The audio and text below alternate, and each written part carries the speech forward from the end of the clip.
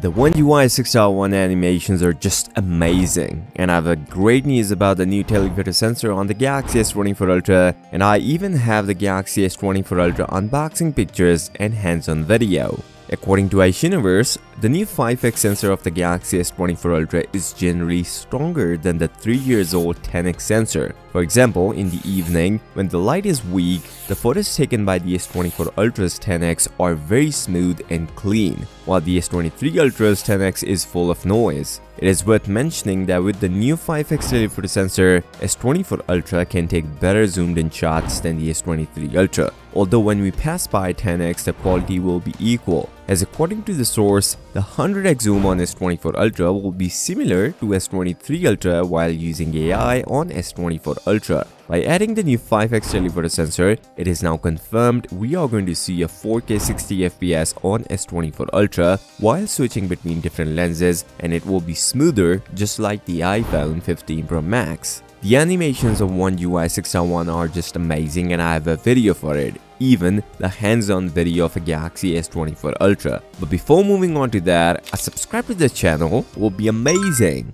This is the One UI 6.1 animation test on S23 Ultra and it works extremely well. Even Ice Universe is satisfied. According to him, the S24 Ultra is still a well-balanced flagship phone, but what is different from the past is that the system fluency and the animations have taken a big step forward which means the One UI 6.1 works even better on the S24 Ultra compared to S23 Ultra. He also mentioned the key points for the animations of S24 Ultra. According to him, First, the animation frame rate has been improved again compared to One UI 6.0, which means the animations will look smoother and more delicate. Second, remove the background blur effect. I think Samsung considers that it will increase power consumption. Third, the background scaling animation is greatly improved. It becomes non-linear and the wallpaper scales greatly, which is larger than the iOS scaling, making the animations look very vivid. The next one, when the icon is scaled back to its original position, there is a more obvious elastic animation.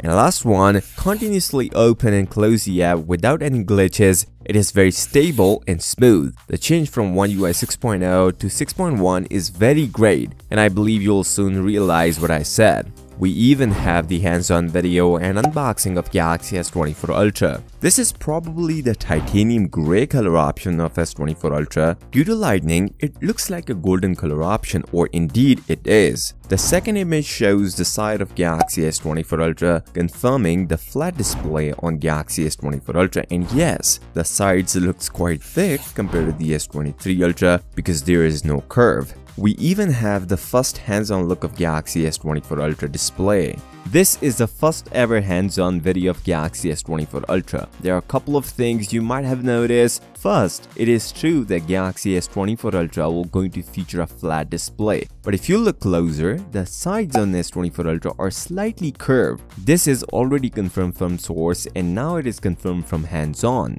And finally, as according to this hands-on with a normal case on your phone, you can use a simple flat screen protector for S24 Ultra. The curve on the sides will be 0.3mm, but honestly, it looks really good. The thing which people really don't like about the S24 Ultra from renders was the thicker outer bezels. Seems like this also confirmed from the outer bezel because of having a slight curve on the edges S24 Ultra outer bezels don't look that big. In fact, it looks much better than the renders of S24 Ultra. The display is not confirmed from the hands-on, but according to this real-life image, the display is even confirmed. The bezels are symmetrical and the bezel size is really small, around 1.5mm. And this year, Samsung is going to add the same display on all three models of S24 lineup M13 which will going to boost the peak brightness on S24 Ultra 2600 nits compared to 1750 nits. The only difference is S24 Plus and S24 Ultra features a Quad HD Plus display which is for the first time on S24 Plus and same Full HD Plus display on S24. With this flat display, the durability of S24 Ultra is improved. But Samsung is even adding a new glass on S24 Ultra. Before, it was named GG Armor, but according to the recent report, it might be named as Victus 3.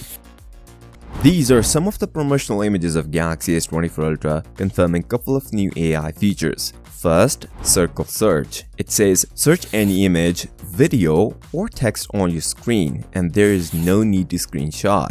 Second is Live Translate. Speak foreign languages on the spot right inside from Samsung phone app. The third one, the new Note Assist. Note smarter, not harder. Capture the details in your notes and let Note Assist do the hard work of summarizing, formatting, and even translating them. The next one is Nightography Zoom. Bring details out of the darkness. Brighten up your night with nightography on S24 Ultra. The next one is 200 megapixel, 8K video recording, and a space zoom up to 100x. All are coming on S24 Ultra. If you're up for camera changes then let me share something new. The default 10x zoom is set to 12 megapixel digital from 50 megapixel. Potentially, this was the reason of S24 Ultra will take better 10x zoomed in shots compared to the S23 Ultra, which has 10x optical zoom sensor. And the new 5x telephoto sensor has the ability to record in 8K resolution. Talking about the cameras, he confirmed big things about the cameras of S24 Ultra.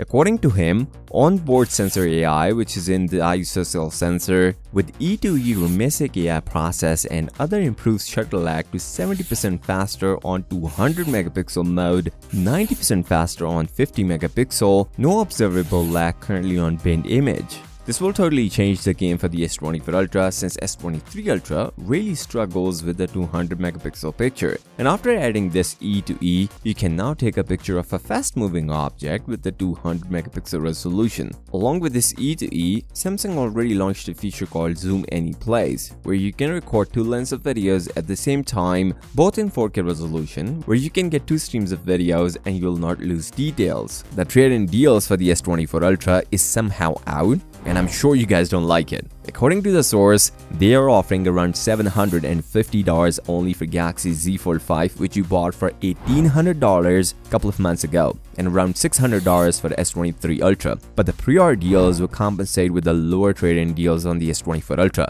We are going to get a free storage upgrade, which is if you buy 256 gigs version, you are going to get a 512 gigs version. And if you pay for 512 gigs version, you are going to get a 1 TB version and some discounted pricing on Galaxy Watch and Galaxy Buds. The watch will be Watch 5 and Galaxy Buds FE, confirmed from source. The price for all models of S24 lineup is confirmed. We are going to see a $799 for S24, $999 for S24 Plus, and $1199 for S24 Ultra in US. But the European pricing is also out, and the S24 and S24 Plus will be cheaper than the S23 series, but S24 Ultra with the 256 gigs version will be slightly more expensive, but 512 gigs version is cheaper. Weird pricing from Samsung. The only reason Samsung stick with the same price as last year because of adding Exynos 2400 in S24 Plus and S24 base model in selected markets, and also no 16 gigs of RAM on S24 Ultra. The official reservation for S24 lineup is started, and if you reserve now, you can get a $50 Samsung credit if you pre-order the phone later.